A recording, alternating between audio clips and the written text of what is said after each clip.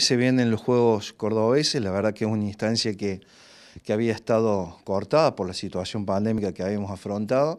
La verdad que con mucha ilusión eh, surgió ahora eh, prácticamente sobre la marcha. Y bueno, vamos a participar. Eh, los Juegos son viernes, sábado y domingo, ahora a principios de julio. Nosotros vamos a participar sábado y domingo en estas cuestiones de abaratar costos y, que la mayoría de los chicos pueda participar.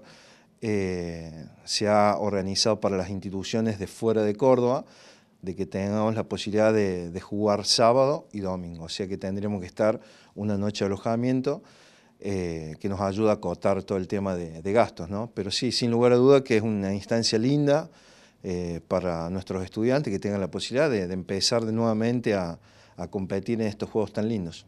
¿En qué disciplina se va a participar por parte de la Universidad Nacional de Río Cuarto y cuáles son las sedes? Eh, se va a jugar todo ahí en el IPEF, en Córdoba, ahí al lado del Estadio Kempes.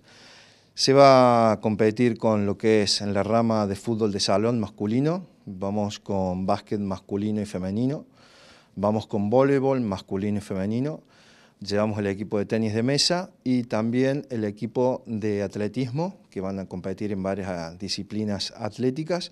Esa sería la delegación que llevamos. Son alrededor de 85, 88 chicos que van a estar representando nuestra universidad en los Juegos de Córdoba. ¿Y los rivales son universidades de toda la provincia, tanto públicas como privadas? Eh, en, instancia, en esta instancia son eh, de la provincia, ¿sí? de la provincia de Córdoba. Eh, públicas, privadas y también está abierto a eh, las facultades de la Universidad Provincial. Eh, esto está muy bueno porque la cantidad de equipos que va a haber en cada rama va a ser linda para tener la posibilidad de competir lo más que se pueda.